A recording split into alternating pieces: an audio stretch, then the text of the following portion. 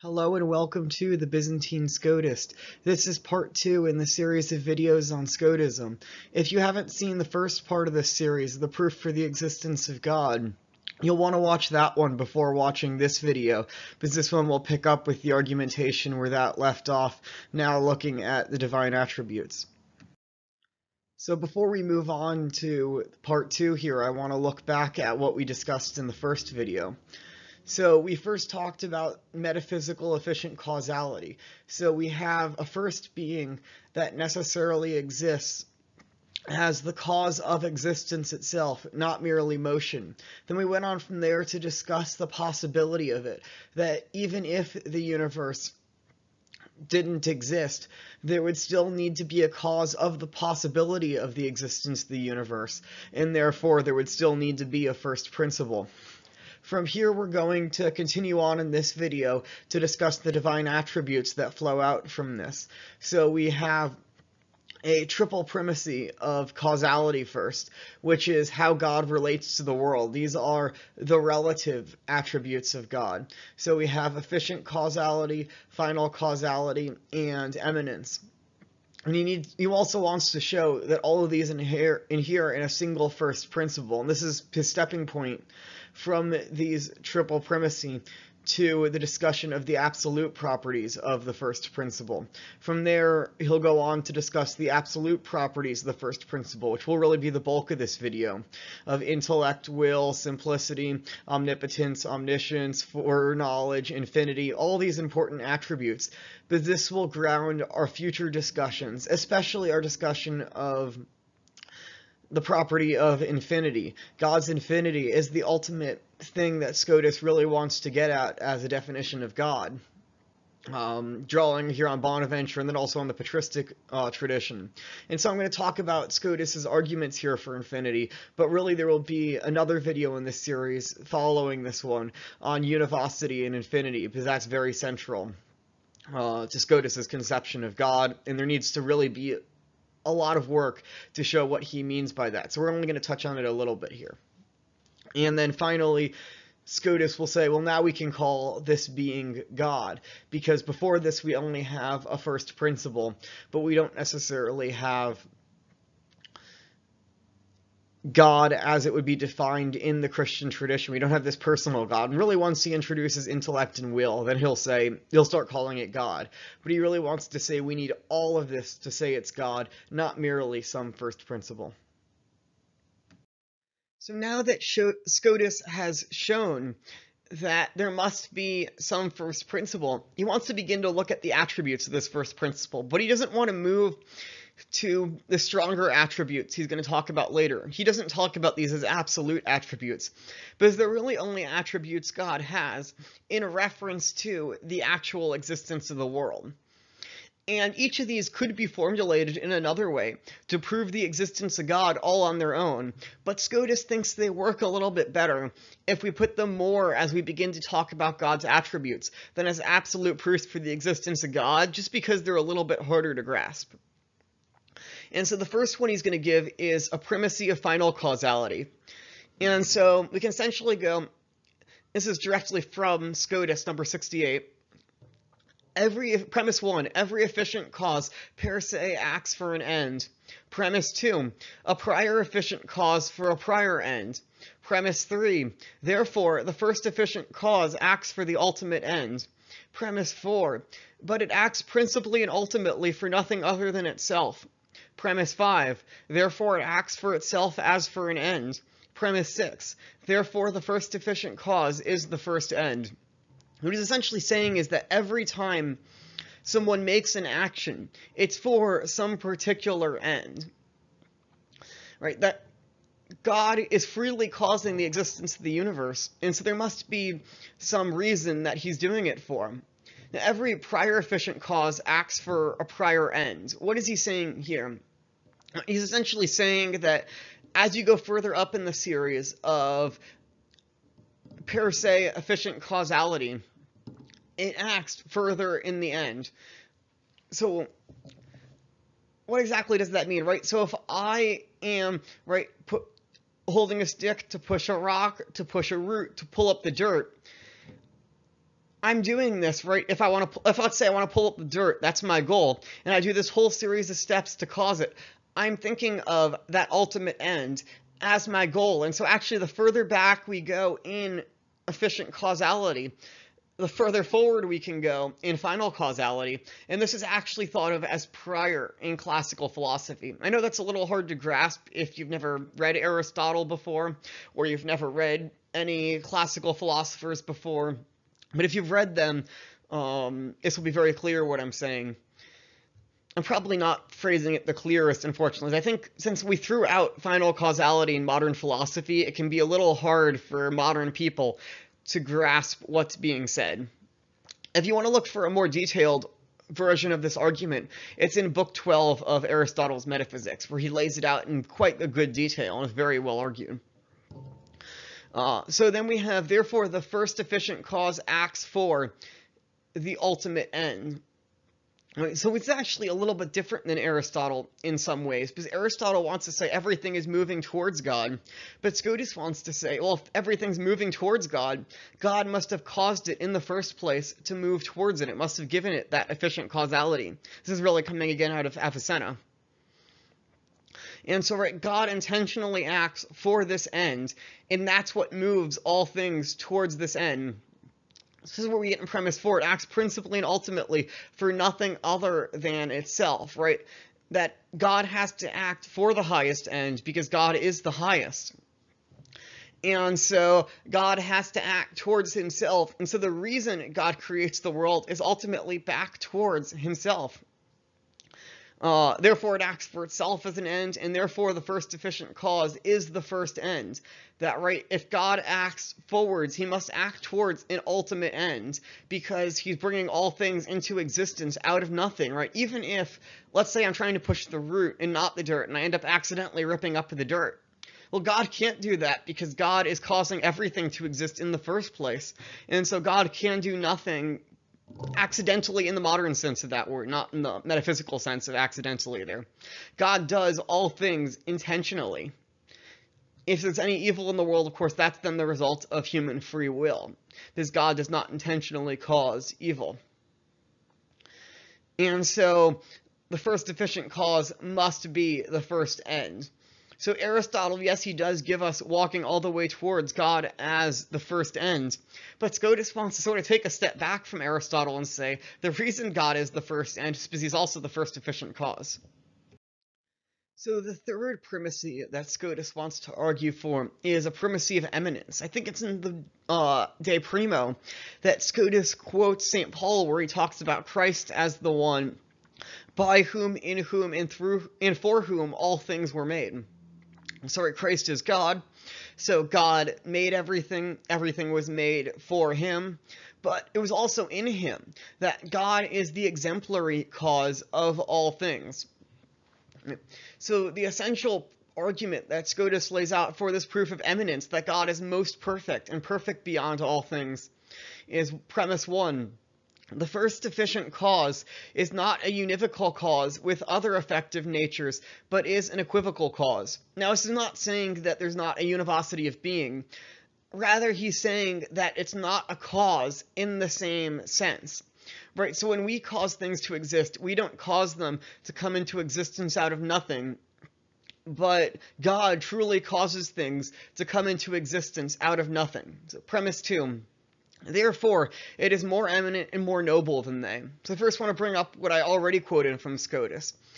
The second difference is that in a per se ordered causes, there is a causality of a second nature in a second order, because the superior cause is more perfect. And he likewise elaborates on this again in the next point within this discussion of the primacy of eminence, where he says, No being from another is its being from its cause nobler than is the being from something necessary of itself, because every cause thing has dependent being, but what is from itself has independent being. So this is the sense in which it's univocal versus equivocal. God has independent being, and all created things have dependent being, and so they're not at all the same type of being. Now, there is a sense in which they're univocal, which I'll discuss later on. But in this sense of causality, they are equivocal. And so, therefore, God has an entirely higher order of causality than any created thing because nothing causes him. He causes all things to come in out of nothing. And all of our, even per accidens causalities and per se causalities, rely primarily upon the per se causality of God to cause the universe to come into existence and therefore his conclusion is the first efficient cause is most eminent. Because if God is causing all things to come in out of nothing, he is the ultimate per se cause of everything. He must likewise be most perfect and most eminent. In this next step, then, of Scotus's proof. He wants to show that these three different forms of primacy must all ultimately be from the same singular first principle, and that there can't be a bunch of other first principles that have these to lesser degrees or also have them to the same degree. And he's going to use each of these different forms of primacy to prove that this has to be the case. So when it comes to a primacy of eminence, primacy of eminence has to do with that God is most perfect. And so we have to then ask if there were two most eminent first principles, how would we distinguish the two? The way one thing would have to be distinguished from another is that one would have to be more perfect than the other, or that they possess two different perfections, but then they would cease to actually be most eminent. If something has every possible perfection, it could not be distinguished in any other way from a principle that also has every single perfection. Now, Scotus does go in his theology of creation and talk about this idea of haecceity, that each thing has a thisness that distinguishes it. But ultimately, things only have haecceity because there's a first principle willing their haecceity. And so when we're talking about the divine, we can't bring in haecceity here because there would have to be some cause of the haecceity. And so we can't talk about one first principle having a distinction, which another first principle does not, because it would cease to be the most eminent first principle. Likewise, with efficient causality, we can discuss order.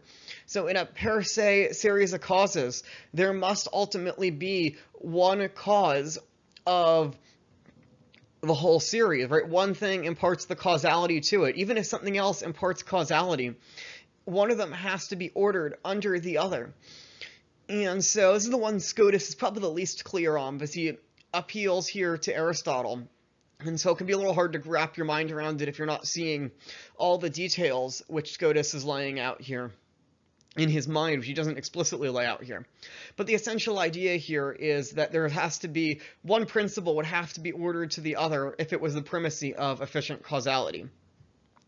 And so the finally, likewise, of the ultimate ends, a final causality, right? There ha- each thing can only have one ultimate end. One thing would have to be ordered to another thing. So if God is the ultimate end, something else would have to be ordered to God. And so if there were two first principles, one first principle would have to be ordered to the other.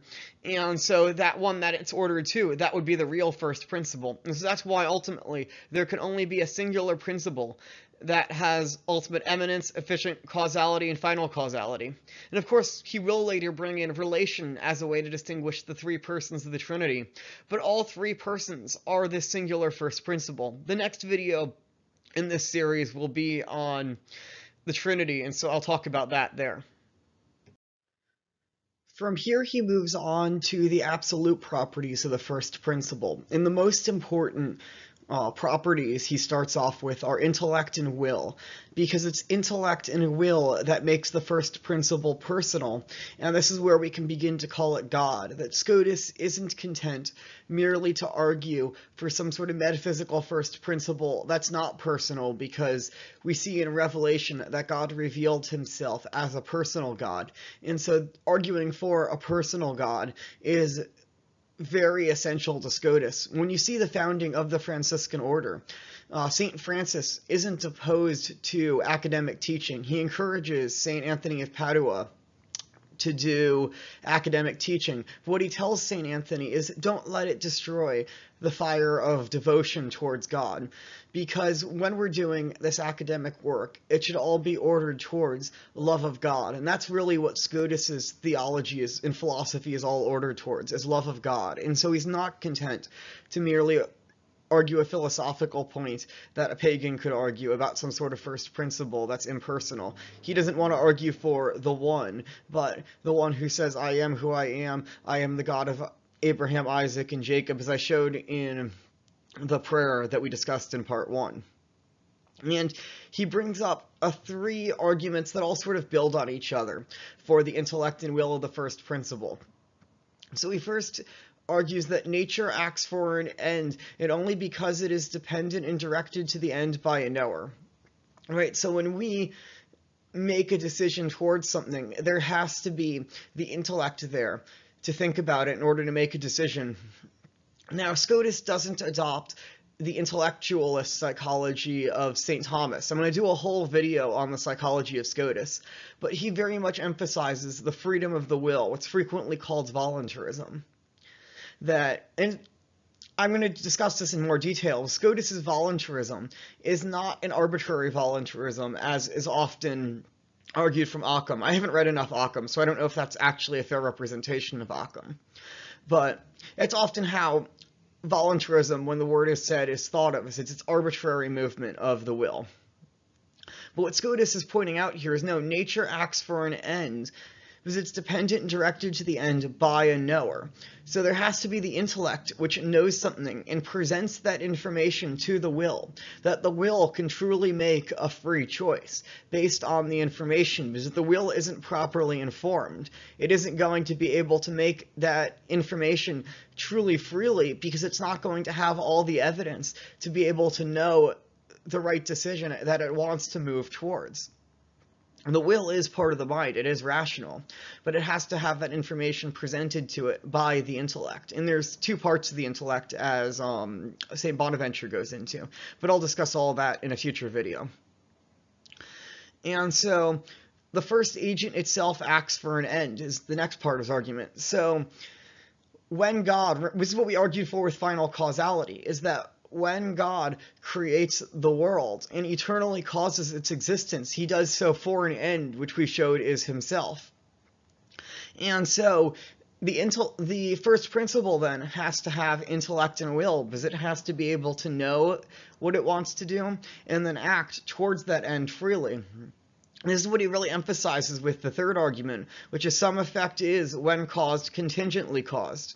Because what we showed in part one is that the universe is contingent because it could possibly not be or it could be some other way as can be shown by reason. And so the universe then is contingently caused. It doesn't necessarily exist. And so God freely causes its existence out of love. And this shows the act of the will and that the will must truly be free to make multiple decisions. The universe isn't really contingent unless it's free to choose. And this is what Scotus is getting at here. The first principle freely wills the existence of creation. And so this is one of the advantages we have from going from this argument from efficient causality, because the contingency of the universe and the relationship between intellect and will, if we reflect on our own minds, shows that this first principle has to have intellect and will. So the next step Scotus makes is to argue for the divine simplicity of the first principle.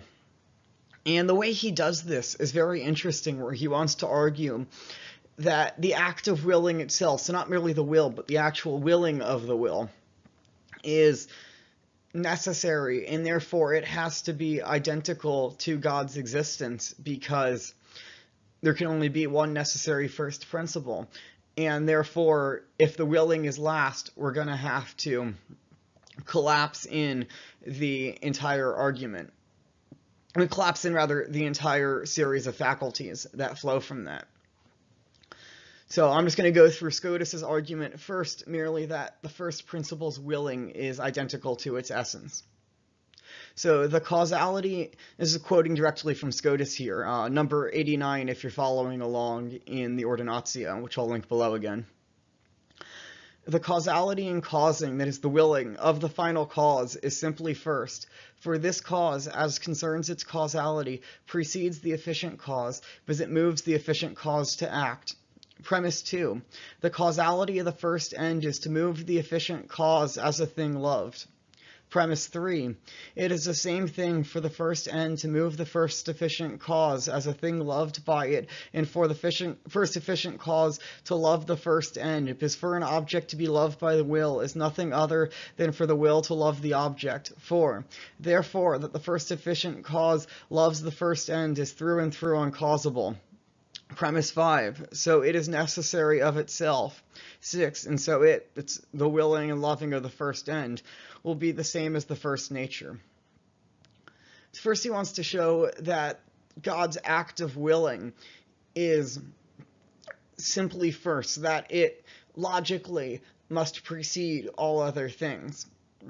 And he shows that it precedes the first efficient cause. That's God's, we already showed that that must be first. God's act of bringing all things into being must be first. And it seems that the willing of that, that is the final cause, the purpose for which it's willed, must be first. Um, and he shows that because when something moves towards an end, it does so out of love of the thing. Right, so final causality must precede efficient causality because first there has to be an end for which something is done so that we can act towards that end.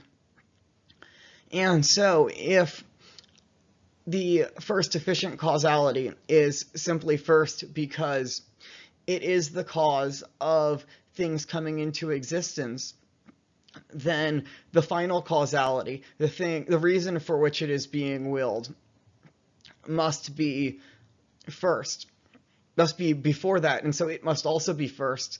And the efficient causality, that is a relative property that God causes things to come into being. He could choose not to cause it, but the reason for which he does it, that final end, that is necessary because God is ultimate perfection, and so God is that final end no matter what. And it's simply God's choice of whether or not he moves towards that end. And so the final causality of God must be necessary, God's act of willing. And so the will of loving the first end must be necessary. And remember, anything that's necessary has to be the first principle, as we've already established. Therefore, God's act of willing must be identical to uh, the divine essence. And so once we've established that point, it's a little more difficult to establish that willing uh, must be identical to the divine essence. It's very easy to argue to divine simplicity from there that all these other absolute attributes of God are identical to the divine essence. Because if willing is identical to the divine essence and willing requires a will, then willing, then the will must be before willing, and therefore the will must be identical to the divine essence. And likewise, in order to um, will an end, and Scotus actually specifically says to love the end. He connects the will and love, which is very essential to his theology. Um, this isn't dry academic exercise, but he's already talking about the love of God here.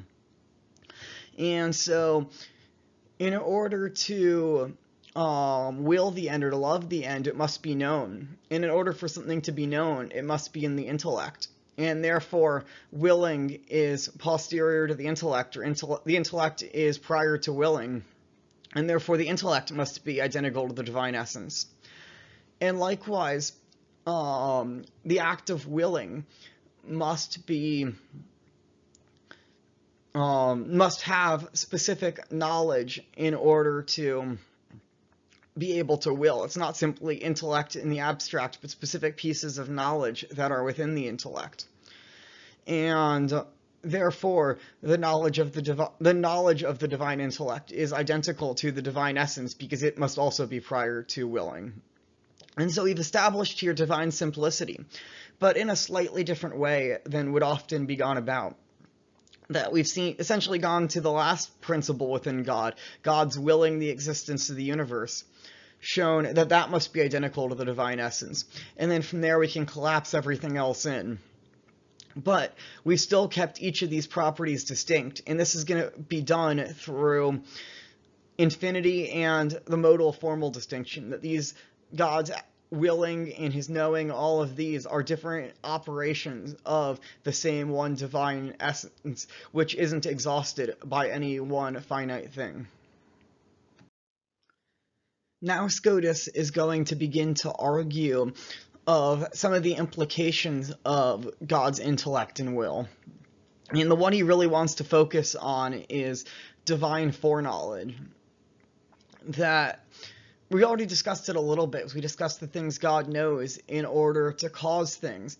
But now we want to discuss how God knows these things.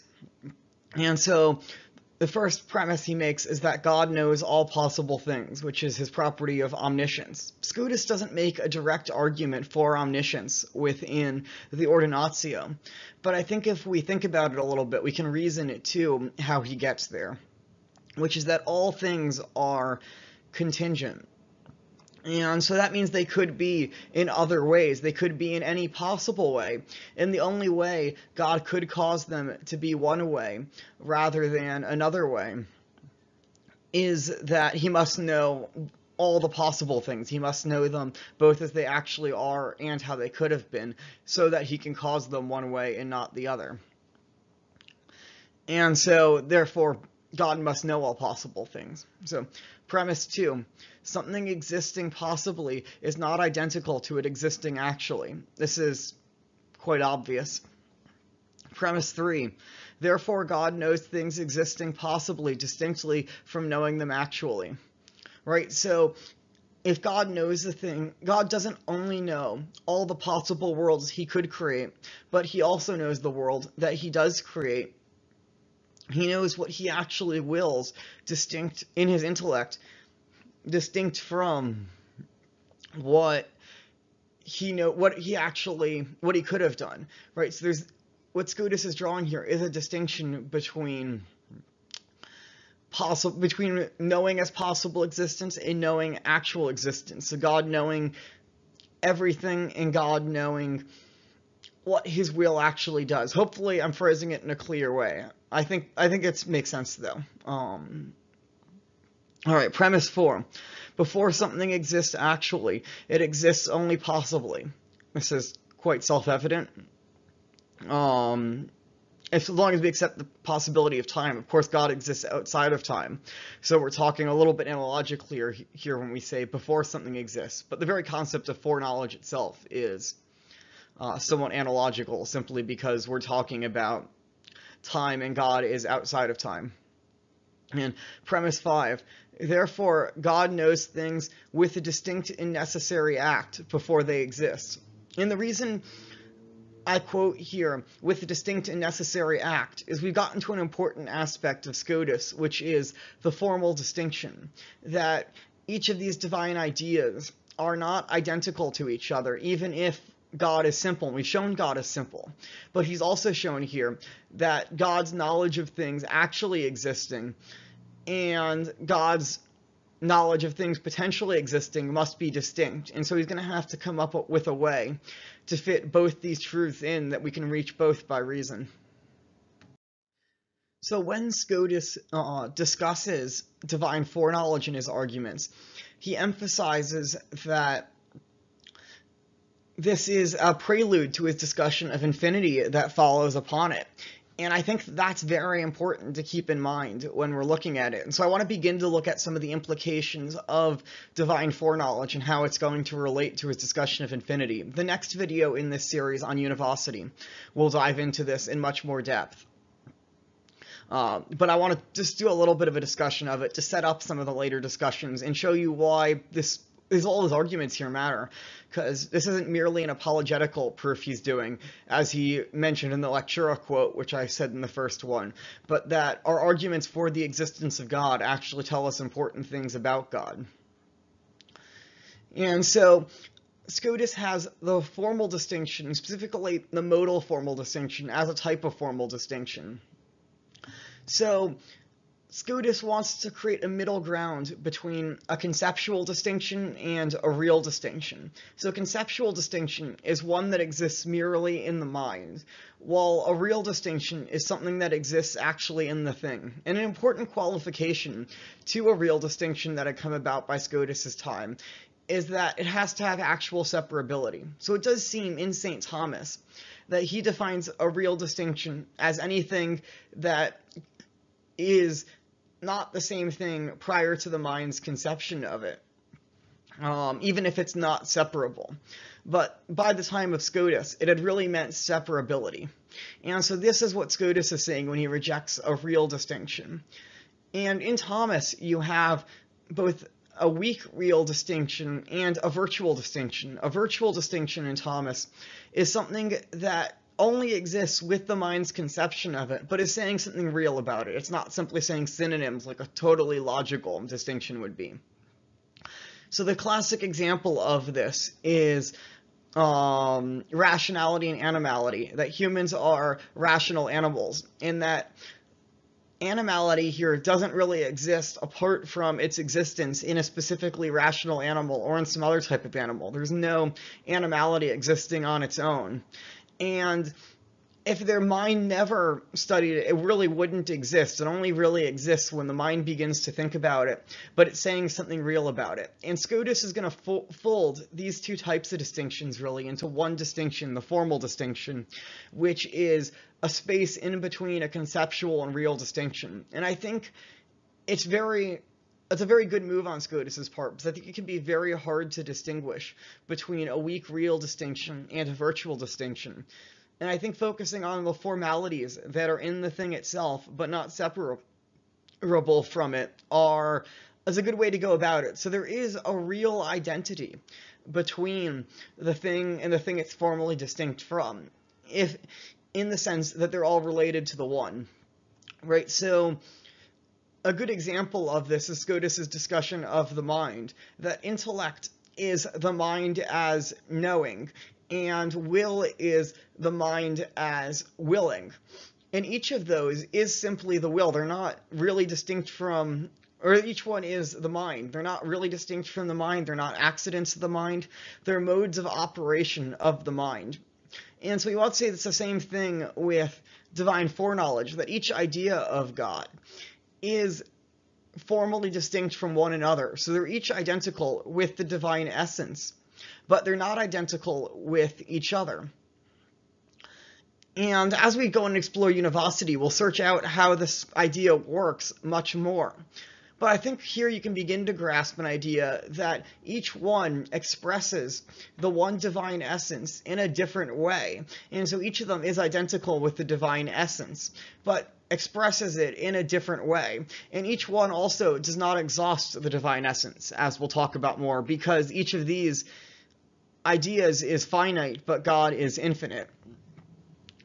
And I think this is very similar actually to a lot of discussion in Eastern theology. I'm going to talk about this a lot more in the next video.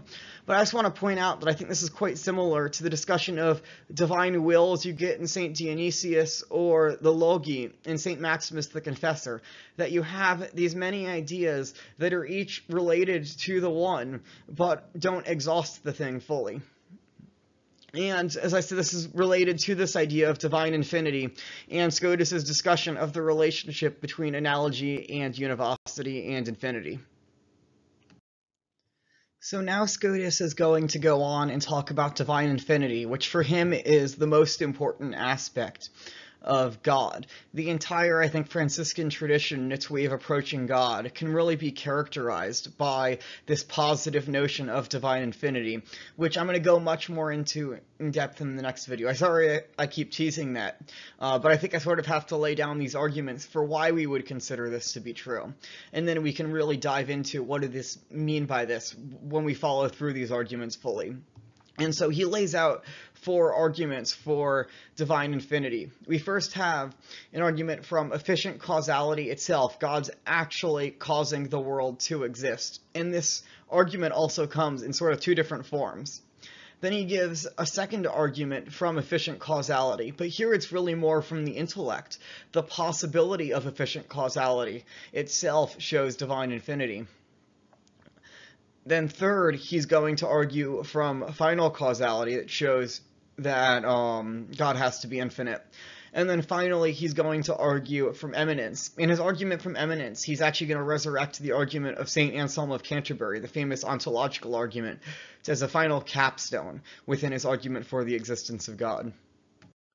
So his first argument for infinity is an argument from efficient causality, that God could cause an infinite number of different species. We could have God could create any number of possible beings. And this still, though, would be an infinitely number, mathematical number of beings. So we're not saying that he creates an infi another infinity in the sense of God, because an absolute infinity there would be um, would just be himself then. We're saying this is a lower type of infinity. It's an it's a countable infinity of numbers. Uh, for those of you who know mathematics, this is the idea of the transfinite numbers or the numeric infinity of George Cantor, but not the absolute infinity of George Cantor. As George Cantor himself said, that absolute infinity is God. It's a metaphysical infinity that transcends num a numeric infinity. Um, and as we know from mathematics now, you can go on in an infinite number of mathematical infinities in the ordinals. You can have an infinite number of beings. Uh, you could have omega, then 2 omega, and so on and so forth. Um, then infinite motion, though, right, would require an infinite power. And we've already shown in part one that any possible world God could cause, he has to have the power to cause. This is a brilliant move on the part of Scotus. And so the possibility of God have creating an infinite number of species shows that God must have an infinite power, right? Because you have to have an infinite power in order for that to be the necessary grounds for an infinite number of beings. And so God must have an infinite power then, and therefore God must be infinite, um, because his power is identical to himself. And so Scotus there theorized that there could theoretically be an infinite number of beings. Of course, he denies that there are an infinite number of beings. He doesn't think that time is eternal like Aristotle does. Um, Bonaventure does have a whole argument against the eternity of the world, but as far as I know, Scotus doesn't present that argument. And here I just want to focus on his argument for the existence of God. And so, Scotus, though, wants to argue there must be something more than merely an infinity of number, though, because God's power isn't a numeric infinity. God's power is an absolute infinity beyond all things. And he actually shows that the movement from non-being to being is infinite, because contradictories have an infinite gap. The space between non-being and some amount of being is infinite, because zero itself, when we talk about the number zero, zero still has being, right? In set theory, zero is the empty set, but it's still a set. And non-being isn't simply the empty set. Non-being is um, no existence whatsoever. And so even the empty set has some being in contrast to absolute non-being. And this is go disappointed that there's an infinite gap between that. And this also comes from our definition of being. So St. Bonaventure defines being as that which is in flight from nothing, and therefore God is the purest being, uh, which is in full flight from non-being. That being is that which is essentially moving away eternally from non-being. And for Scotus defines it as that which to be is not repugnant. Right? There's really here an apophatic discussion of being that for Bonaventure and Scotus, being is that which is not nothing. And so there's a gap here between um, non-being and being. And so God's movement of all things from non-being into being in the first place is an infinite movement. Even if God only created a single atom, that single atom would take an infinite amount of power to bring about ex nihilo. And so therefore, God must have an absolute infinity of power, and therefore God must be absolutely infinite. Um, and this is where we're beginning to see here also this idea of the disjunctive transcendentals, where there's an infinite gap between non-being, finite being, and infinite being, and that each of non not being some amount of sets and absolute infinity, these are all infinitely far apart from each other. Um, and they're metaphysically infinitely far apart from each other. Not merely that we can't count all the way up ever to omega and reach it, but that it's actually in a totally different ontological category. Um, and I'm going to go into that more in my next video, but this is just sort of a prelude to that, since these are the arguments that Scotus uses to set up that discussion. And so, in that first argument from efficient causality, we're really looking at the will, God's act of creating and arguing that that's infinite and therefore God must be infinite. And here we're going to focus more specifically in on his intellect and how that relates to efficient causality. So, uh, premise one, God knows all possible things. Premise two, there are infinite possible things. Premise 3, therefore God knows an infinite number of things. Premise 4, therefore God's intellect must be infinite. Premise 5, God's intellect is identical to his essence, and therefore the conclusion is that God is infinite.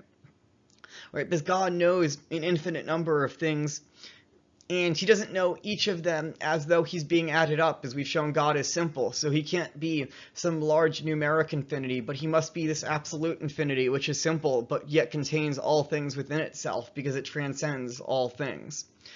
And the only way all these different number of things can be contained is in the intellect, because the intellect is where the number of things are contained, and specifically in the passive intellect, or what St. Augustine and St. Bonaventure and St. John of the Cross call the memory.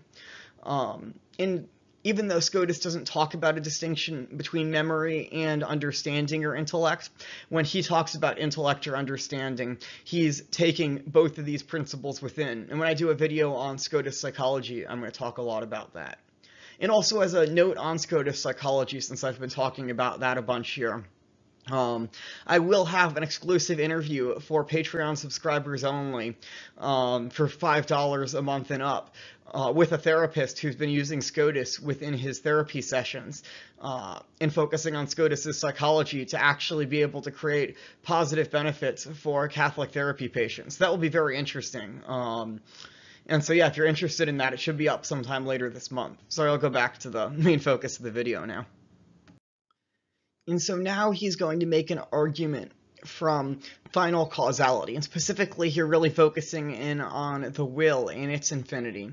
Because we did have earlier some relationship of the will and the power of God, but here we're really going to focus in specifically on the will, and the will works towards an end, and so that's going to be how he argues here. So premise one, infinite goodness is greater than finite goodness. That's just by the definition of it. Premise two, the will desires what is best. Now, we sometimes make decisions, right, between um, something, we might choose something that's worse rather than what's best. And Scotus does think that there is a free will, that we can choose between multiple goods. And Scotus's point here, though, is within man, there's a distinction between the will of desire and our actual will of decision, like you have in St. Maximus the Confessor, for example, in St. Maximus the natural will and the gnomic will.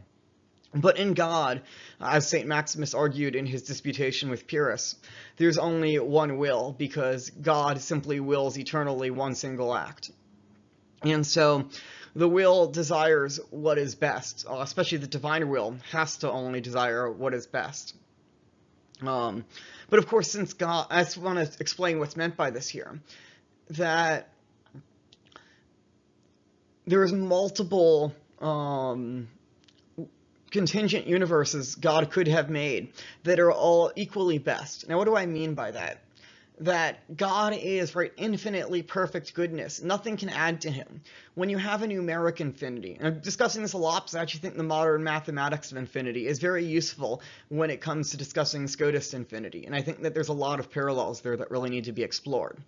But let's say we take um, number omega. For those who don't know, I've been talking, I've mentioned this a number of times, if you walk along the number line, right, you have one, two, three, four, five, six, and let's say we keep walking along it and we go for an infinite amount of time and we finally reach the end of that and we hit omega.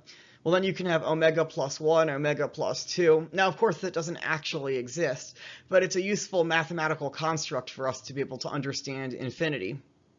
Um, but God can't then be that omega or the omega plus 1 or 2 omega because then you would be able to add something to him. No, God is, if you walk along to omega, to omega, and then you have omega squared, omega cubed, and then omega to the omega, and this could continue on forever. Uh, this is one of the things that Cantor discovered in set theory, is that there is no set that contains all sets. And so there has to be some absolute infinity, which is beyond sets itself, which itself contains all sets within it. Um, and so there can't be anything added to God. When finite things also exist that God creates, they don't add anything to him. Um, God has no real relation to the world. That's what we mean by that, because nothing can be added to God. We don't mean it in some psychological way. Of course, God loves the world. We're saying is that there's nothing added to God. And so God can desire what is best. Um, regardless of whether he is finite or um, well, I'm sorry, regardless of um, he still loves what is infinitely good, regardless of how much things he creates. No, whether he creates some finite things, he creates more finite things, he creates no finite things. In all of those situations, God is still maximally good because he is maximally good within himself. And so if we even look at the human will here, right, the human will desires still what is best in terms of the faculty of desiring within our will. Right, but this is what uh, Scotus is really focusing in on here, is not necessarily even the divine will to love what is good, but um, the human will to love what is good. And therefore, the will desires infinite goodness as its ultimate end, right? That in terms of our natural willing within ourselves, we desire that ultimate end, and so does God here. And so the will desires God then as its ultimate end because God is infinite goodness. Um, but there cannot be two ultimate ends, right? The will desires infinite goodness as its ultimate end, and we showed earlier that the will desires God as its ultimate end. And since there cannot be two ultimate ends, these two ultimate ends must be identical. God must be infinite goodness. So I know that was a little confusing the way I phrased it, so let me go back over it again infinite goodness is greater than finite goodness. That's obvious. The will desires ultimate goodness, infinite goodness as its ultimate end. And we showed earlier, of course, um, in the very beginning with the relative properties of God, that the will desires God as its ultimate end, and therefore these two are identical. And even God eternally desires himself, um, his own infinite goodness as his ultimate end. And so the act of love is how we will towards God. God is infinite love, and we make an act of love the highest of the theological virtues and the perfection of our will. And it's in the will for Scotus that man is perfected, because that's where man makes an act of charity, which is perfect. And we unite ourselves to God by this act of love, or uh, caritas in the Latin, charity and God himself eternally wills himself, wills towards himself as the end. And so God is infinite love. And so in uniting ourselves to God's infinite act of love in a finite manner, because we can only will finitely, we unite ourselves to God and to God as our ultimate end. And so his final closing argument within this very long argument for God and all the divine attributes is a divine infinity from eminence. And so he's drawing this argument from Anselm, and essentially the argument goes like this. Premise one, it is incompatible with the most eminent thing that something else be more perfect. Premise two, with a finite thing it is not incompatible that there be something more perfect. Three, therefore God must be infinite perfection. And I'm going to go through Anselm himself in the next video and show that Anselm is arguing a very similar thing. That right in Anselm, the argument's phrased a little bit differently. In Anselm, it's that we're conceiving of this being, that than which nothing greater can be.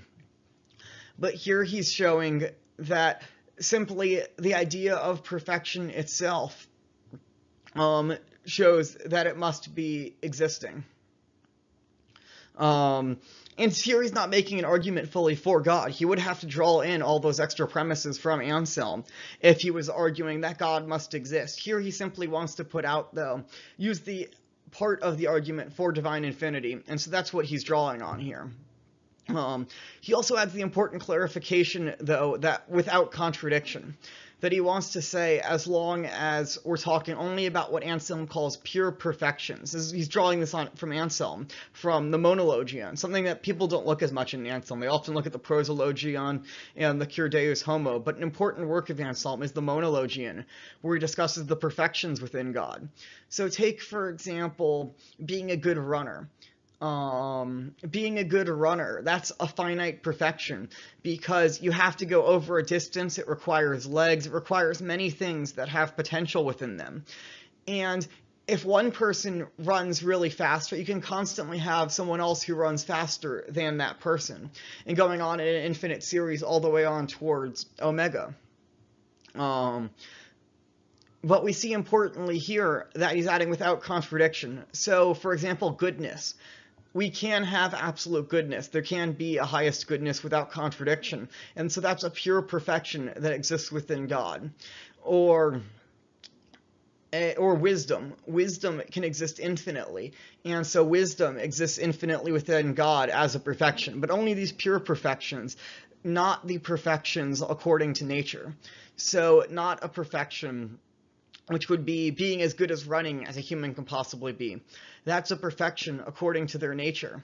But within God, it's not a perfection. It's not a pure perfection that you can always have add another one. This is how he's also drawing this aspect of it from Anselm, because in Anselm's reply to Gaunilo, um, he shows that Gaunilo's argument of the most perfect island is ridiculous, because the most perfect island is inherently self-contradictory that you can always add another tr palm tree to the island and make it more perfect.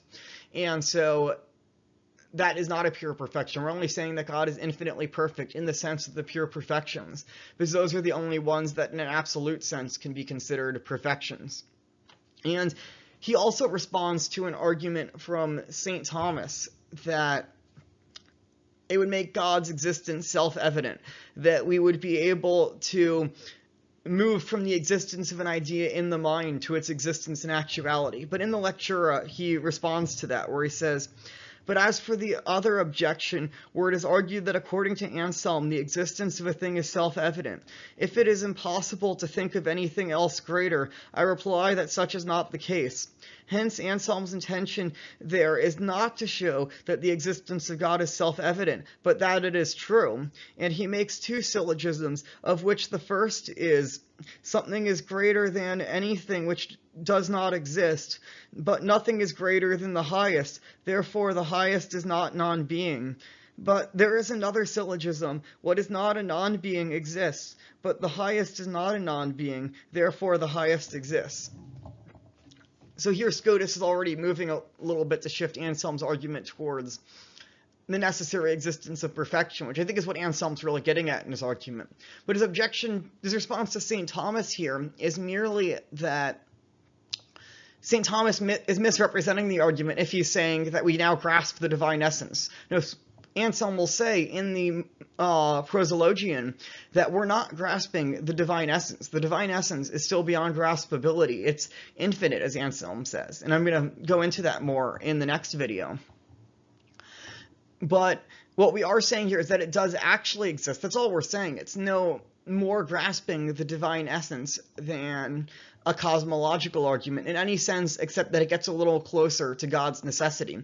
It's not as though it explains everything about God once we have um, the ontological argument.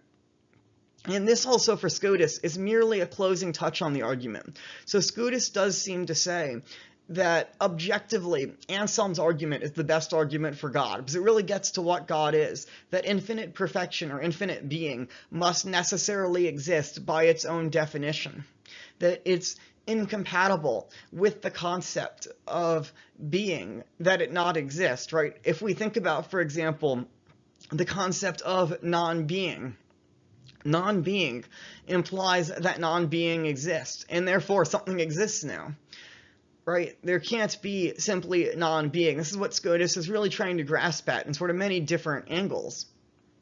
Uh, because we can't fully grasp what being is. Being is just a concept.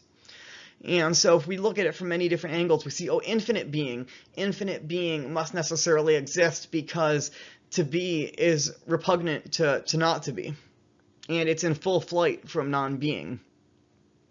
But on the other hand, if we simply present Anselm's argument in the prosologian to someone, it's not going to convince them, right? We're it's a very weak argument in the sense that if you ever talk to an atheist about it, they think that's ridiculous. Um, but Bertrand Russell pointed out it's much easier to say that it doesn't work than to say what's wrong with it. And the reason that is, is because it's totally a logical argument. It works validly, but it doesn't seem like it should be right. And so as a result, it's not a useful apologetical tool, but it's a very, very strong theological tool for helping us grasp infinite perfection.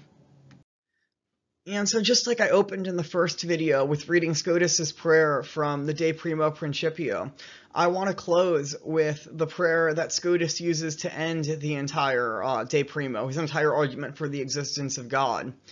Um, I want to look at how he argues, not how he argues, rather, how he takes all this argument he's had for the existence of God and offers it back up as praise to God to show that God must exist. And so he's, oh, let's pray together this prayer. In the name of the Father, and of the Son, and of the Holy Spirit, amen. O Lord our God, you are one in nature, you are one in number. Truly you have said that besides you there is no God. For though many may be called gods or thought to be gods. You alone are by nature God. You alone are the true God with whom, in whom, and through whom all things are. You are blessed forever. Amen. So thank you for watching. I hope you enjoyed this here. I hope I did a good job explaining Scotus's argument. And I hope this helped out gets people interested in Scotism. I know these first two videos could be a little dry at times, because we're just going through a very rigorous philosophical argumentation. But I think in the next video, when I step into divine infinity and univocity, and we start seeing how Scotus's system fits together in this beautiful vision of reality, we'll start seeing why this is. And as we go on then to discuss his beautiful doctrine of the Trinity, and the Trinity is based on love.